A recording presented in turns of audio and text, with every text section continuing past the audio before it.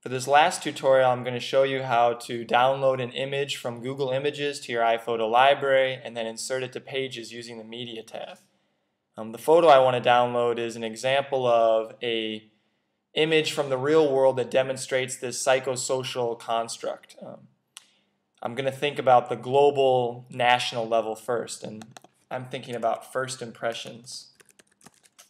I'm making this 48 point font according to the directions.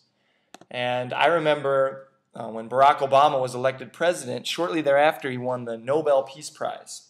And a lot of people were shocked that he won it so quickly. But I think the reason he won that so quickly is because he made a very positive first impression globally and uh, was rewarded for that. So I'm going to find an image of Obama getting his Nobel Peace Prize on, on Google here. So I'm going to search for Obama Nobel Peace Prize and look at Google Images. And uh, let's see here.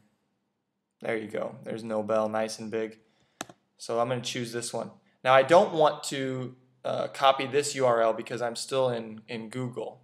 I want to copy the URL that is the actual source of the image. So I click on full size image here to the right and now I can uh, download this photo to iPhoto. So I control click or two finger click and add image to the iPhoto library.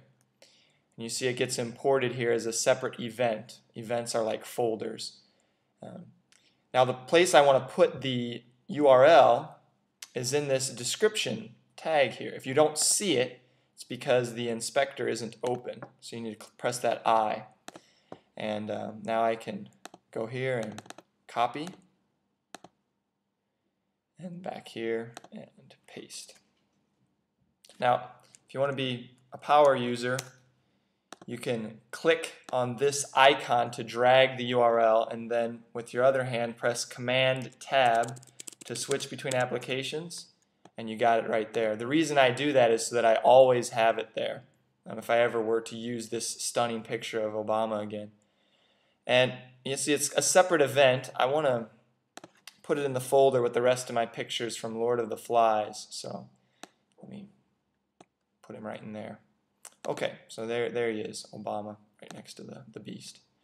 Um, now if I go back to pages, I can insert, oops, insert here instead. But rather than using the insert choose, since I've got it in iPhoto, it's all integrated through this media tab, which is available in all the uh, iWork apps. So here's my different folders. I got them in Lord of the Flies. And uh, let's see where he is. There we go. Boom. I want you, Obama. All right. Now, I don't, I'm not real keen on the way this is cropped. So you see this edit mask function here. You can use that to change how much of the image you're seeing. I want to get that ear and there. Okay. Now it's a little bit too big, so I'm going to resize the whole thing. Actually, that doesn't work out too poorly at all because now I've got room for a text caption, which I will create by putting in a text box.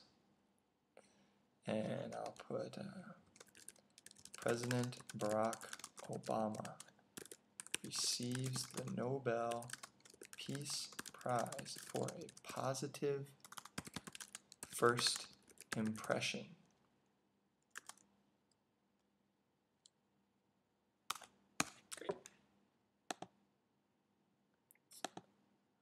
be a little bit more specific.